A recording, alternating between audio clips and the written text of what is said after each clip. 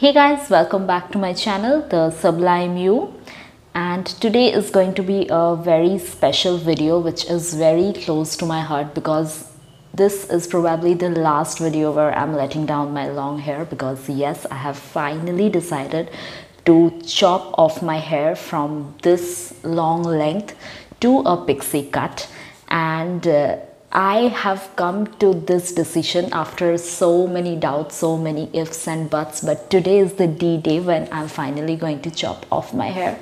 And what made me come to this abrupt decision? Well, from a superficial viewpoint, if you say, then yes, coming to the aspect of fashion, I would love to enjoy my short hair for quite some time now. But digging into the deeper reasons, Firstly, the hair loss cause, which I have been talking about since so many days. Now, I personally feel that chopping off my hair will not exactly reduce my hair loss because uh, the hairs that are meant to fall off will fall off anyway. But why I'm doing this for my hair health is because uh, if I chop off my hair, then I will not require to tie it up or I will not require to untangle my hairs. And so in that way, there will be less strain on my hair roots and whatever hair care I take from onwards, I think I will get better results because my roots will be less stressed. And I am not particularly sad about this, rather, I have a good reason to cherish this particular day because I have decided to donate my hair. And so, yes, if I'm not wearing out my long hair, someone else is. So it's not going in waste. And um, this is probably the first time when I'm chopping off my hair to, to a pixie cut. I don't remember when the last time I had a pixie cut, probably in the primary school days. So let's see how it goes. So for the haircut, I had gone to the Toni and Guy hair salon in Durgapur, which is outside the Junction Mall. And if you're confused, it is the same venue where earlier there was the Lakme hair salon.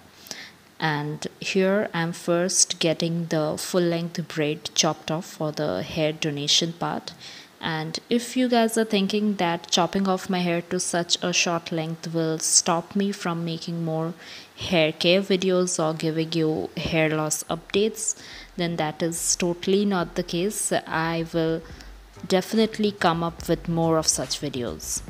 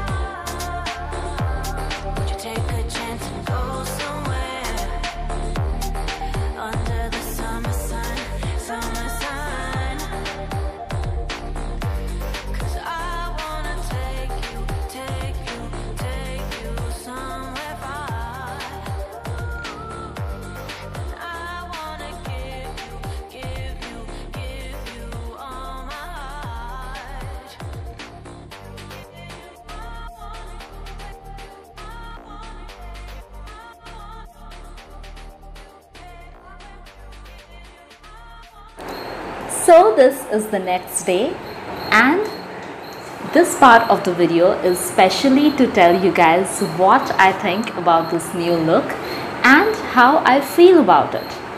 So firstly when I was going to the salon then I was repeatedly I was telling myself that you might not be very happy with this look you might not like it as much but you have to learn to get accustomed to it. You have to learn to love yourself in this new form.